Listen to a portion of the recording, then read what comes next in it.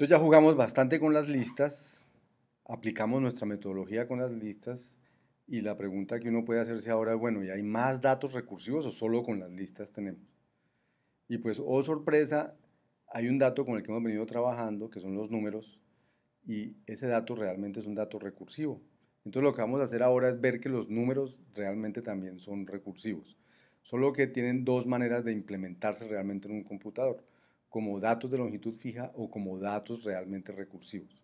Vamos a trabajar con los números para ver si ellos son también recursivos. ¿Cómo nos vamos a dar cuenta de eso? Pues ya vimos que los datos recursivos son naturalmente especificados inductivamente como conjuntos, como conjuntos que se especifican de manera inductiva. Entonces, eso es lo que vamos a ver con los números, cómo especificarlos de manera inductiva y vamos a contar un poquito de historia, porque vamos a traer un poquito de aritmética, etc. Los números naturales se han usado desde épocas muy antiguas para contar elementos de un conjunto, siempre. O sea, contar así es una cosa natural en, en el hombre y pues claro que los antiguos también sabían contar. ¿Cuáles son las propiedades fundamentales de los números? Primero, que hay un primer número natural. Los números naturales hay uno primero.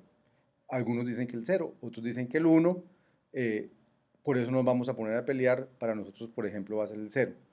Pero eh, los que quieran ser fundamentalistas dicen que empiezan del 1, pues que empiecen del 1. La estructura es la misma.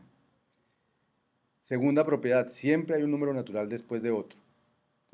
Eh, sea, el número que se le ocurra a usted, el más raro que se le ocurra, yo le sumo uno y ese es el siguiente.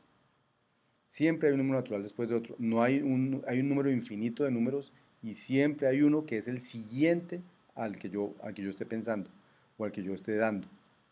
Tercera propiedad, entre dos números naturales consecutivos no hay ningún número natural. Entre 2 y 3 no hay ninguno, entre 3 y 4 no hay ninguno, entre dos números naturales consecutivos no hay ningún número natural. Y cuarta propiedad, son infinitos.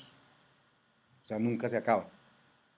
Bien, y un computador tiene que representarlos. Entonces, hay una pregunta bien interesante, es cómo represento yo con un computador un conjunto infinito de datos si entre otras cosas mi computador todo es finito? Tiene un número finito de bits, un número finito, un número finito de todo. Y todo le cabe hasta un punto, hasta el disco duro un día se llena y no le cabe más. Todo es finito. Pero yo quiero representar un número infinito de datos. Entonces, lo más fácil es representarlo de manera, llamémosla, no explícita, que tengo el 0, el 1, el 2, sino de manera implícita, que yo pueda construir los números a partir de algunas propiedades.